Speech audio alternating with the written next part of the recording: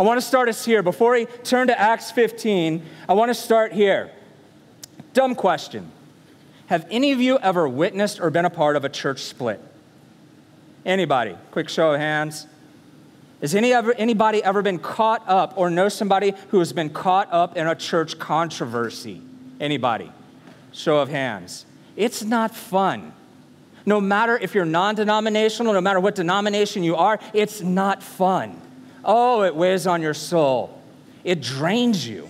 It drains you. You know, I remember one time uh, my professor of church history at the first seminary I went to walked us through church history, walked us through how each denomination got off the ground, and he started talking in a loving, kind way about the strengths and weaknesses of each of the denominations we were studying. As a Baptist, he made fun of Calvinists, but then I was so impressed with my professor.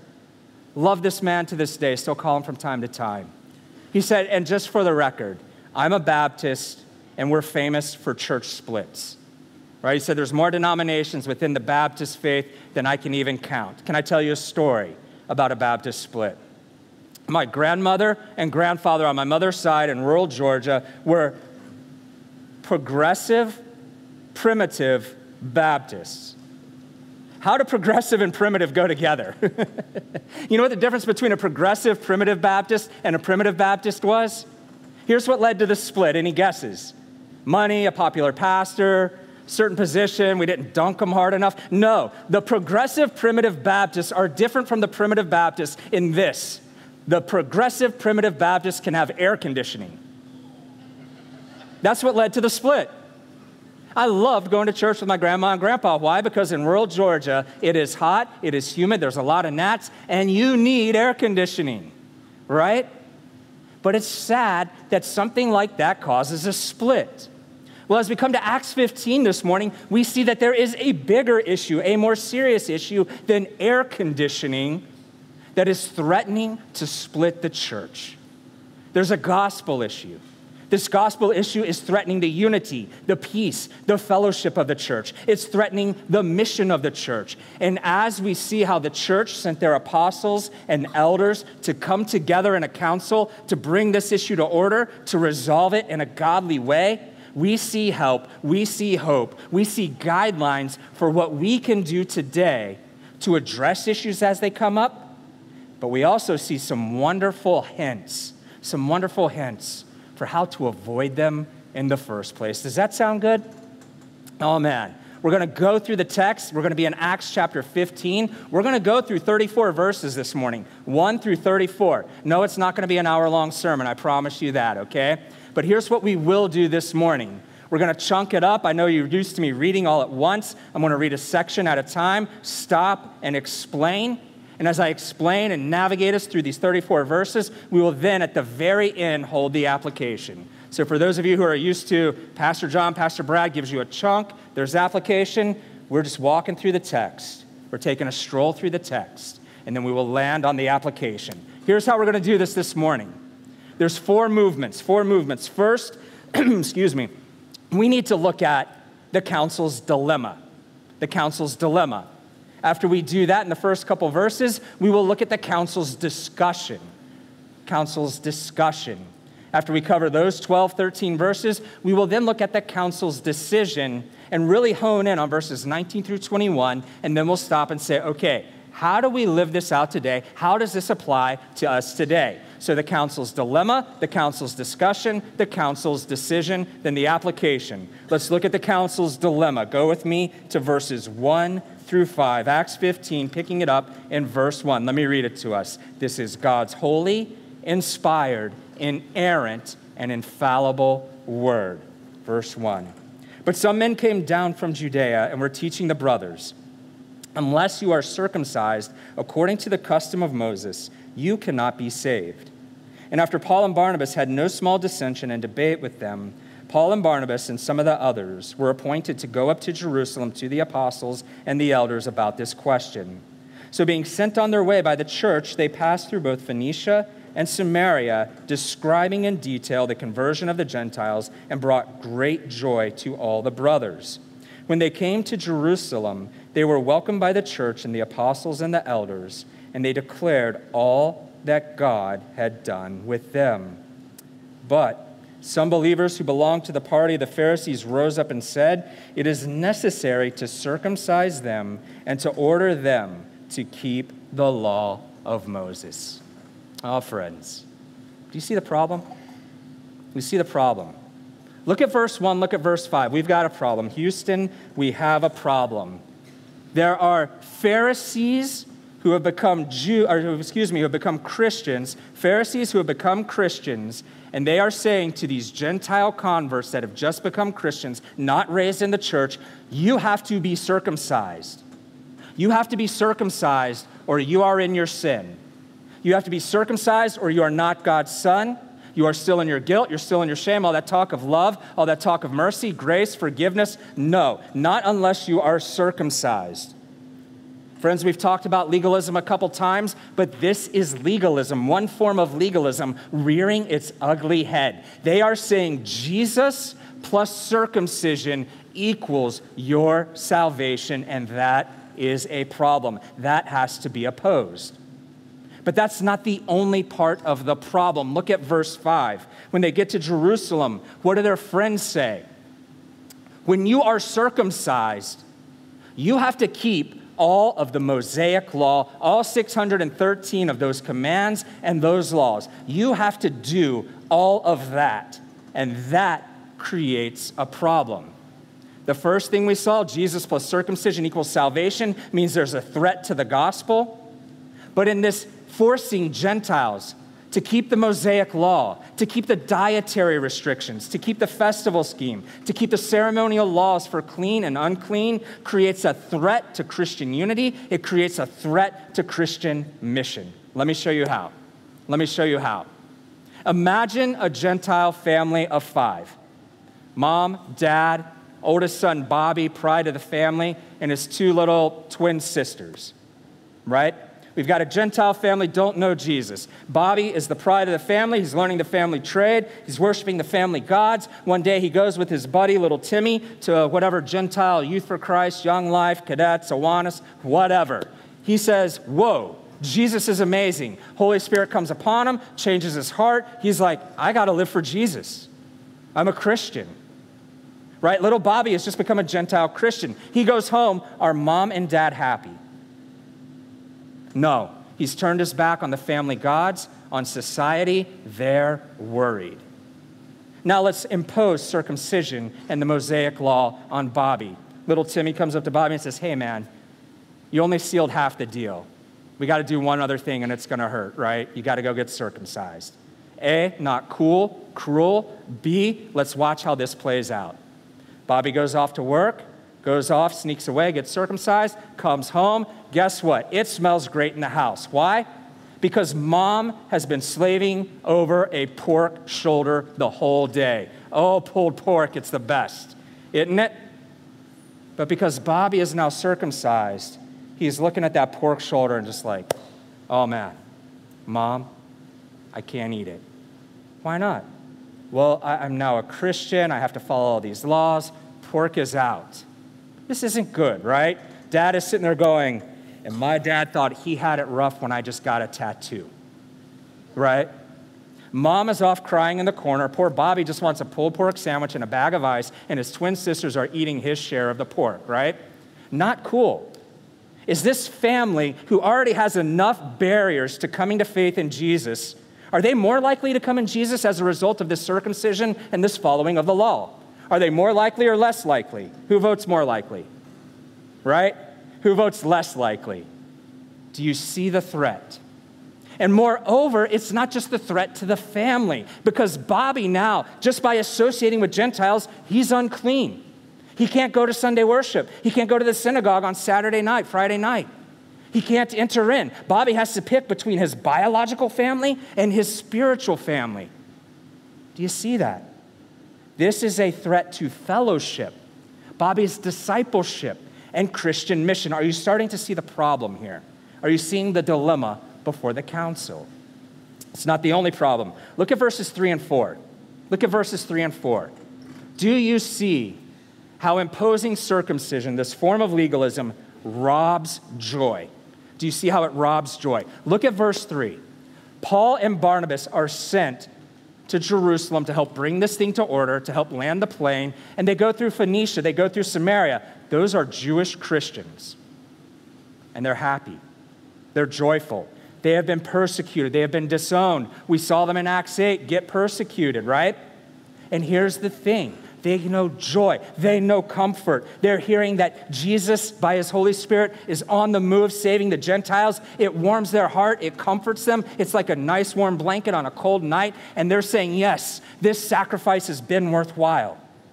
And then look at verse 4 when they go to Jerusalem. They're welcomed.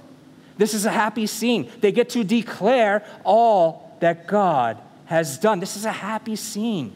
These Jewish Christians in Jerusalem, they're amped, they're pumped. This is warm. There is joy, there is goodness. But can the Pharisee Christians celebrate? Do they know joy? Do they know the joy of verses 3 and 4? No.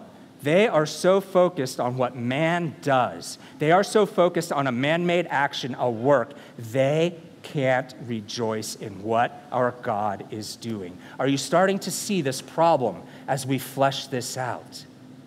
We've got to do something about this. We've got to bring this thing to order. There's the dilemma. What's the solution? We find the solution beginning in the council's discussion. Let's go ahead and let's move into our second point. Let's look at the council's discussion. What do they do? Let me read to you verse 6, part of verse 7. Verse 6 the apostles and the elders were gathered together to consider this matter.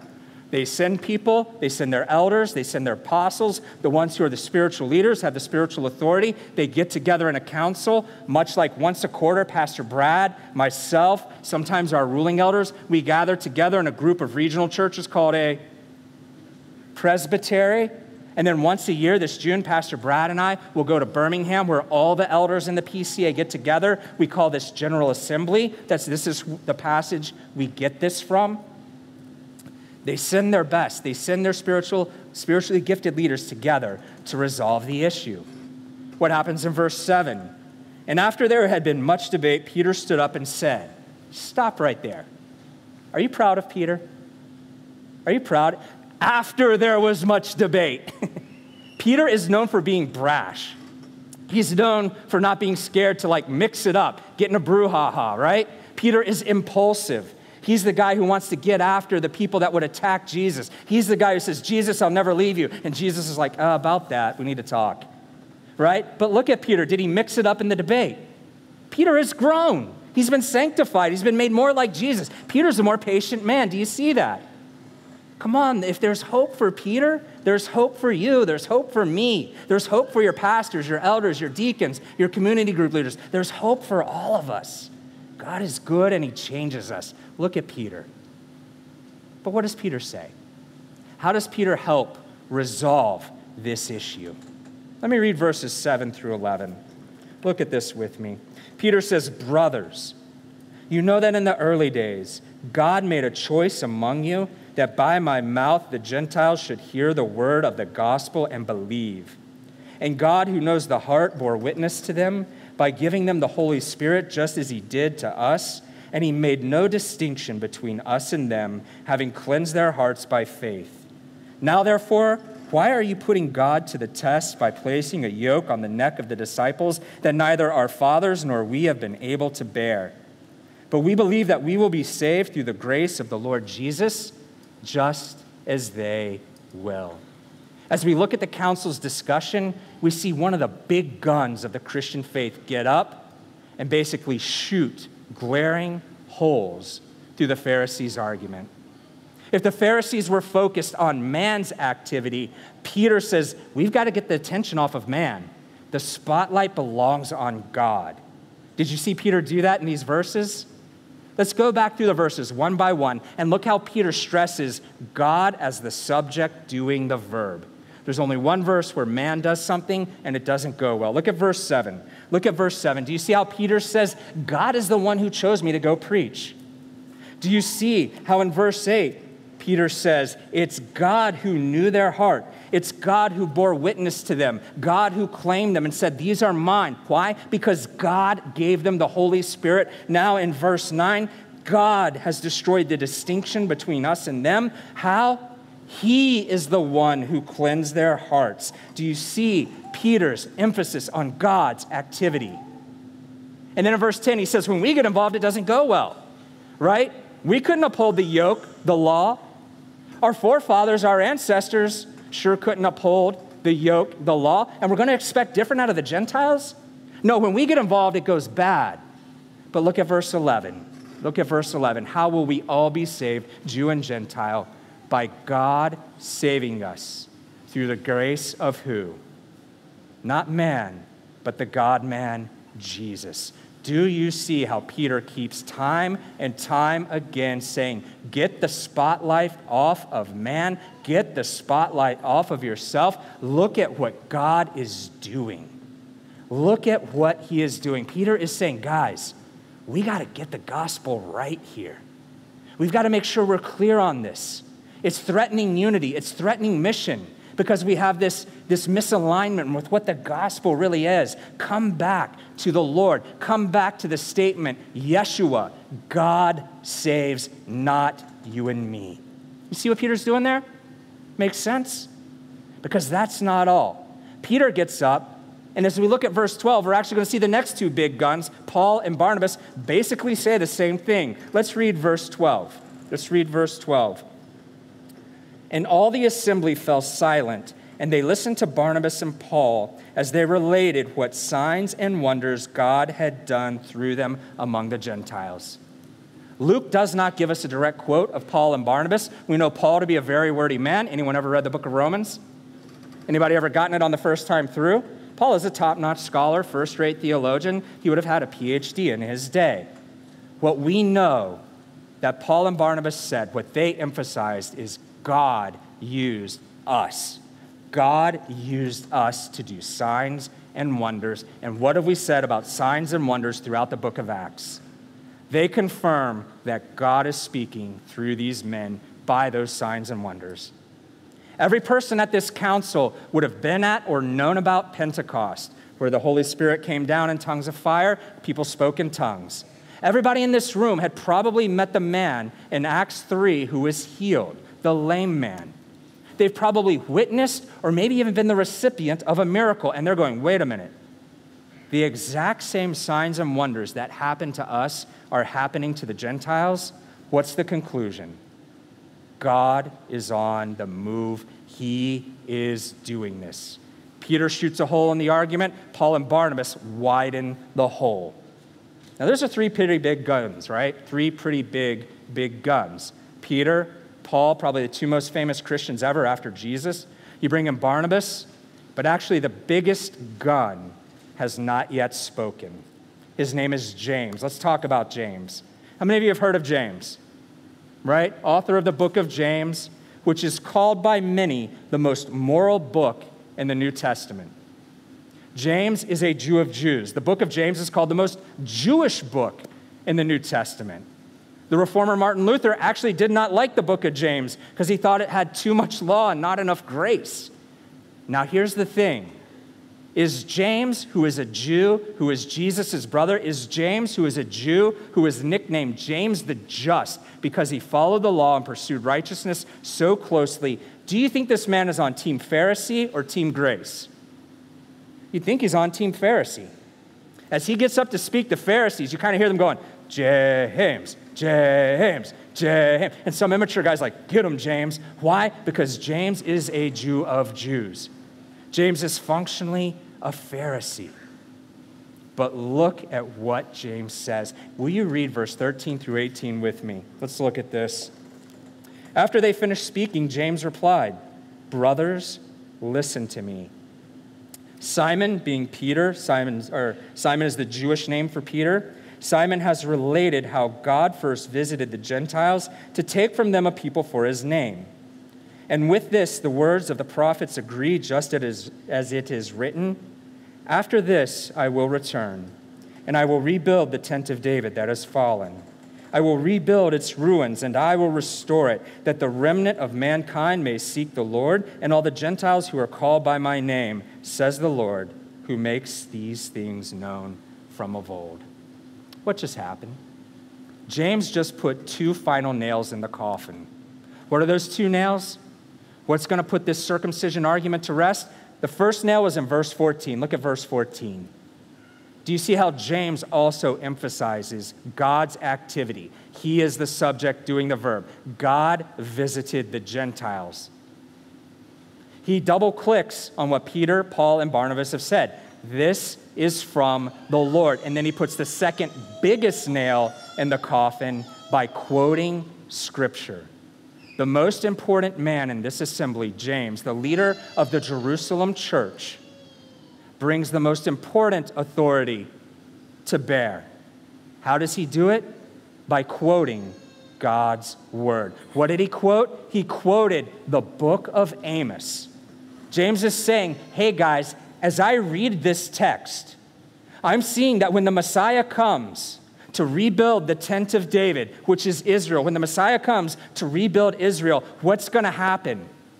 Everyone, including the Gentiles, will seek my name. James is saying this prophecy is being lived out before us. Their experience, we find it in the scriptures. When I check out our highest authority, the Bible, their experience checks out. Game, set, match, grace wins. Do you see it? At this point, it's a mute point. Here's the thing these apostles, these elders, these apostles and elders have protected the gospel, they protected church unity, they protected the ongoing mission of the church. There's just a few loose ends to tie up.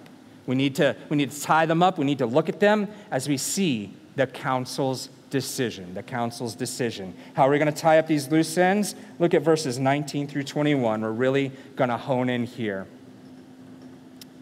James says, Therefore, he continues, Therefore, my judgment is that we should not trouble those of the Gentiles who turn to God, but should write to them to abstain from the things polluted by idols, and from sexual immorality, and from what has been strangled, and from blood. For from ancient generations Moses has had in every city those who proclaim him, for he is read every Sabbath in the synagogues. I don't know if you caught it, but what James just did is brilliant. This is the plan that will be adopted in verses 22 through 34. Please go home this afternoon, maybe do a family Bible study on those passages.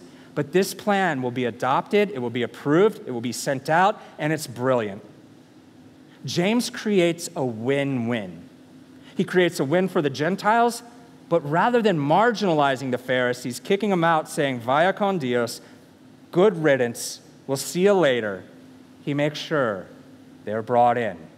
He extends grace to them. Watch how there's a win win. Go with me to verse 19. Go with me to verse 19. Do you see where James says we should not trouble those of the Gentiles? James has a pastoral heart for people who are different than him. That word trouble can be translated don't crowd them in.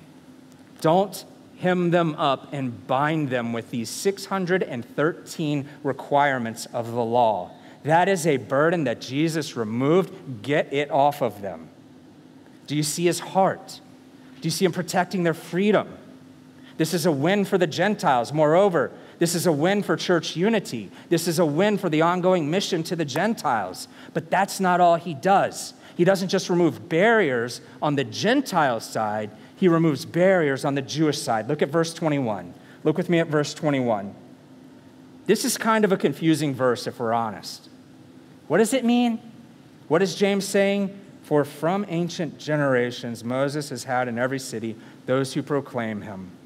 What James is saying is this hey, Gentiles, Gentile Christians, hey, Paul and Barney, look at me. He says, all throughout the Mediterranean basin, in every major city, there is a synagogue. You have brother Jewish Christians, sister Jewish Christians that go to the synagogue to hear Moses read, and that is a good thing. We keep the Old Testament. So here's what I want you to do. Here's what I want you to do. Some of them are new Christians also. Some of them have been ostracized. Some of them have been raised, we don't eat pork. Look at verse 20. He says, We don't eat food that has been sacrificed to idols we don't go to the temples where there's lots of prostitution. We don't eat meat that has been strangled, and we drain the blood out of it because that is what the law taught us. Hey, rather than 613 requirements, how about you do this? Follow these four biggies. And that way, when you invite that brand new Jewish Christian into your home, they won't be squeamish when mama puts the pulled pork down. They won't be squeamish because you've offered them a meal they can eat. You're not going to cause them to violate their conscience. Protect their conscience the way we just protected your freedom. And oh, by the way, if you follow these guidelines that I'm laying down, they might bring a non Christian Jew who does not yet know Jesus as Messiah, and maybe you can talk to him about it. Share your faith with them, and now the mission to the Jews can keep going forward as well. Do you see the brilliance here? Do you see how on both sides James has cleared a way to protect the gospel, extend grace, keep joy, protect the unity and the fellowship of the church, and to protect the church's mission? Isn't that pretty cool? And then look at the results in 22 through 34. We're not going to read it, we're not going to camp there, but look at verse 22. There is a happy ending here, folks. So many churches, when they know strife, they just split today, they give up. It's like no fault divorce, and it's sad. Jesus' bride is ripped apart. This has a happy ending. This is a good ending. They send two men, Jude and Silas. Anybody know what kind of name Jude is? Judas, excuse me. It's a Jewish name. It's a Jewish name. Anybody know who Silas was? We find him in Acts 16. He is a Roman citizen. At best, he's a Hellenistic Jew. At worst, he's a Gentile. They send somebody who can represent the Gentile Christian side, somebody who can represent the Jewish Christian side. And what do they do? They go and they read the letter and look at verse 31. What's the response?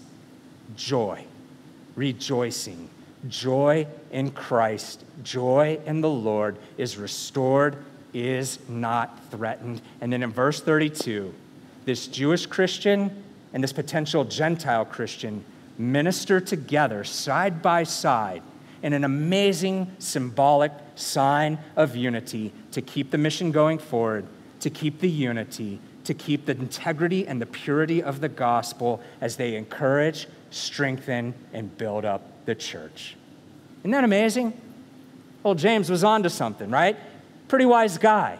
Pretty wise guy. Now let's ask, let's close here. What do we learn from this? How can we apply this today?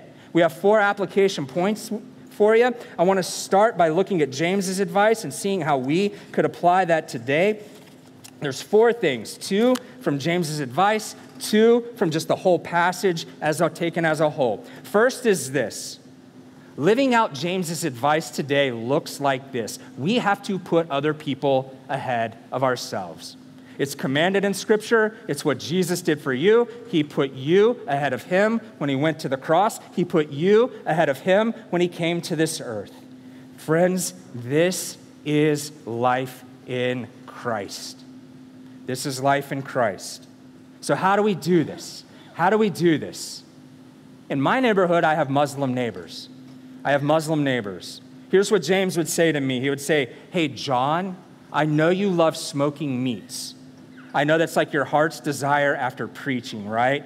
Is to go grill up, to go smoke some awesome baby backs. One day we're going to get a Boston butt, do some pulled pork. But, John, if one of those Muslims had come to faith in Jesus and you had them over, can you put that aside for the time being?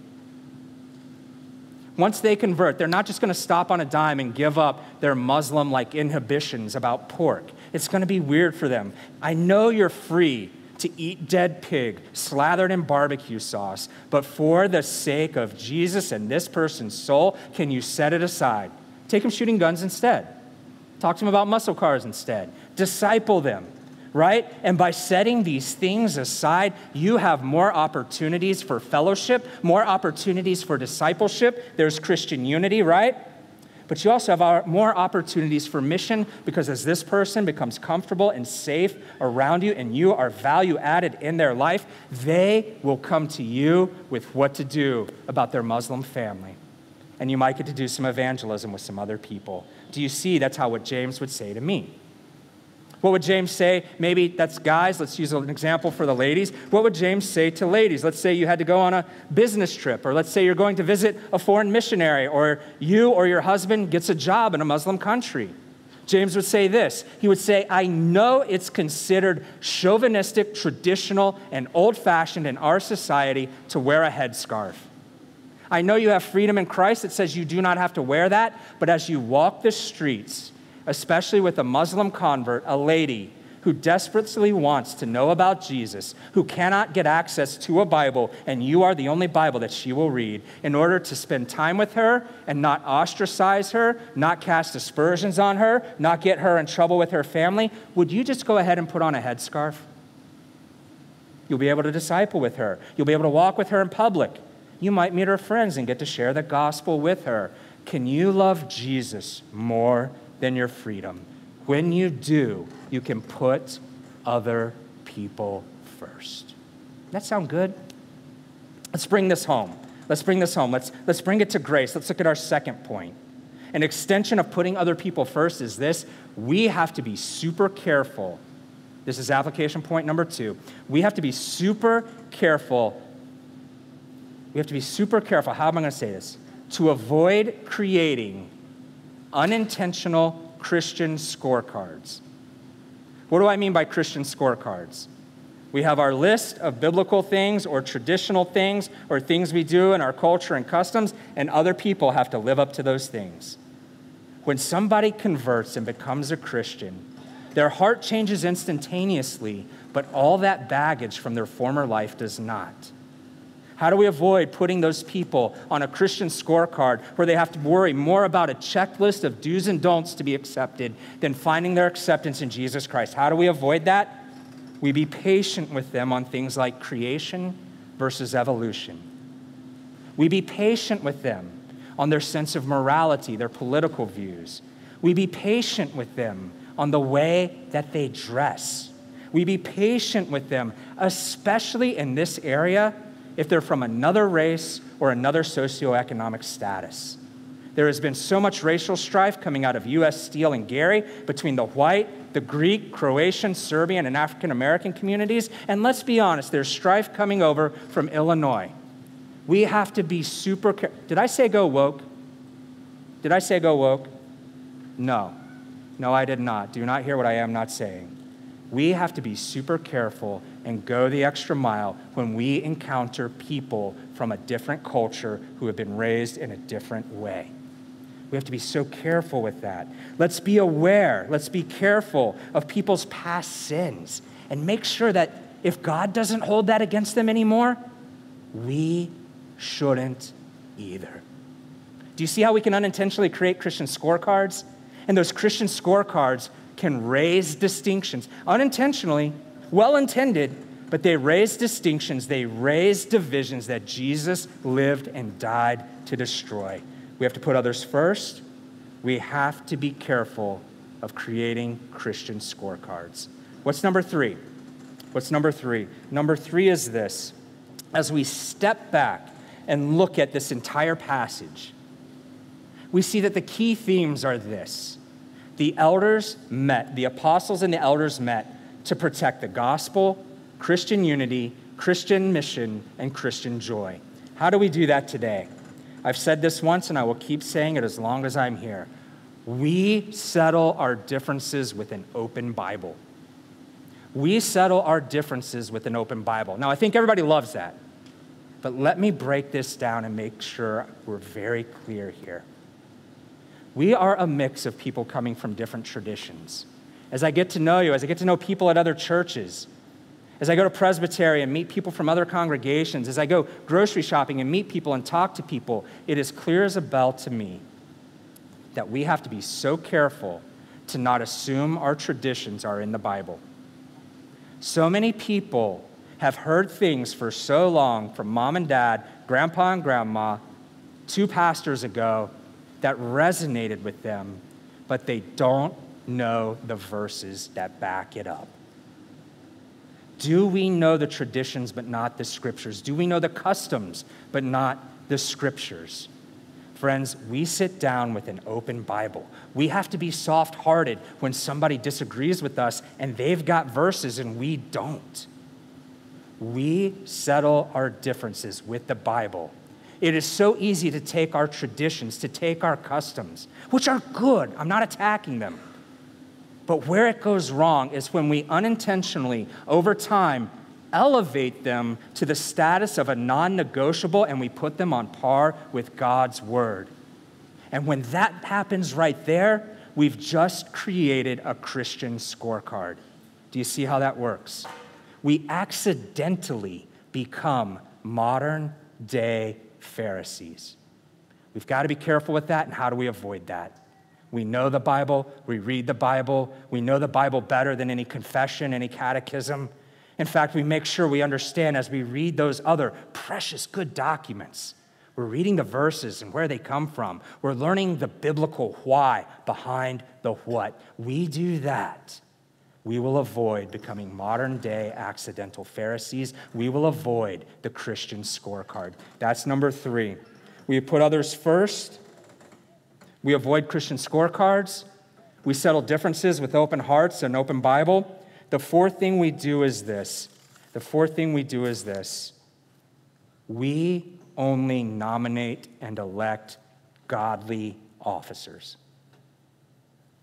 Elders and deacons, oh man, it's a high office. It is a high office. As you read this passage, you should be proud of the apostles. You should be proud of the elders. And if there had been deacons present, you would be proud of them. Let's look at these guys one more time. Let's look at the big guns. Peter was culturally Jewish, Paul, culturally Jewish. Barnabas, pretty sure he was culturally Jewish. James, obviously, culturally Jewish. They gave away their traditions, their customs. They gave away their cultural, their national identity for the sake of Jesus for the sake of Jesus' gospel, for the sake of Jesus' people, for the sake of the unity and the joy of Jesus' people, and the sake of Jesus' mission. That is hard to do. They gave away their liberties, they gave away their customs, they gave away their cultures, and that is a hard word here in libertarian Indiana.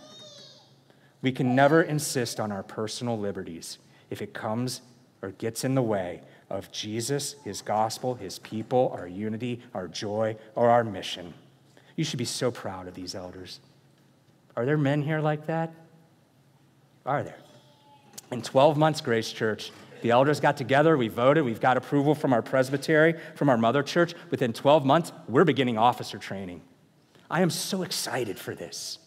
Are there men among us? We need you thinking about this. We need you praying for it. I would dare say, fast over this. We need godly men who are soft hearted towards Christ, his gospel, his church, his mission, our joy. We need men who are hard hearted towards threats to the gospel, threats to our fellowship, threats to our unity, threats to our joy, threats to his mission. Are there men like that among us? Oh, I'm convinced that there are. I'm convinced that there are. If you're not, what are you doing to become that kind of a man? What are you doing? Are you in the Word? Are you praying? Are you asking God to show Him if that's your call? Are you the kind of man who's coming in, not insisting on his agenda like in a bombastic, domineering, I know how to fix this place. I am the Holy Spirit's gift to this church. I have spiritual authority. Are you the man who comes in and says, These are my brothers. Together, we're going to pray and work with the congregation to seek God's will for grace. Oh, I'm convinced those men are out there among us. We need to know who you are. We need ladies for you to help us identify who they are. We get these things right. When we get these things right, putting other people first, avoiding scorecards, settling our differences with an open Bible, nominating and electing godly elders, grace, we can weather whatever comes our way by the Holy Spirit's power and the help of the Word of God. Sound good? Let's pray. Oh, Father God, how we need you. Father God, we love you, we praise you. Father God, we ask that you would raise up godly officers for this church. Father, we ask that we would be a people of the book. Father, we ask that we would be able to see our own cultural customs and traditions and to hold them with an open hand as the light of Scripture shines upon them. Father, we ask we ask by your Spirit's help, by our love for Christ, to love others greater than ourselves. And finally, Father, we ask, just help us to be aware of the ways we might cause stumbling blocks in the form of Christian scorecards. We love you, Father. We praise you. We thank you for your word. And all God's people say, Amen.